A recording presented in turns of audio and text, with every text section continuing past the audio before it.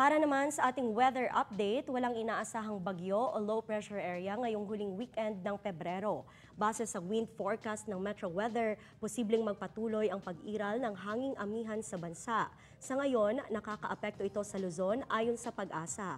Dahil dyan, maalon at delikado pa rin sa maliliit na sasakyang pandagat ang pumalaot sa mga baybay ng Ilocos Provinces, La Union, Batanes at Cagayan kasama ang mga isla ng Babuyan. Ngayong umaga, asahan ng pag-uulan sa ilang bahagi ng Northern Luzon, Eastern Visayas at Caraga Region base sa rainfall forecast ng Metro Weather. Pagsapit ng hapon, uulanin na ang ilang panig ng bansa. Mababa naman ang tsansa ng ulan sa Metro Manila.